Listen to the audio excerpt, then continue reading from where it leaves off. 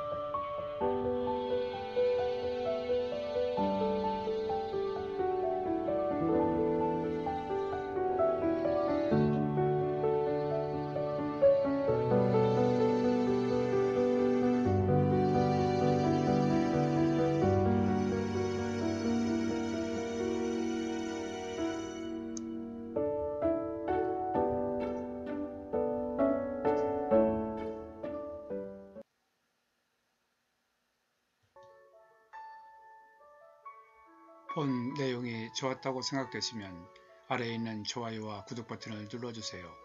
좀 더 느낌 있는 내용을 만드는데 큰 힘이 됩니다. 끝까지 봐주셔서 감사합니다. 그럼 다음에 또 뵙죠.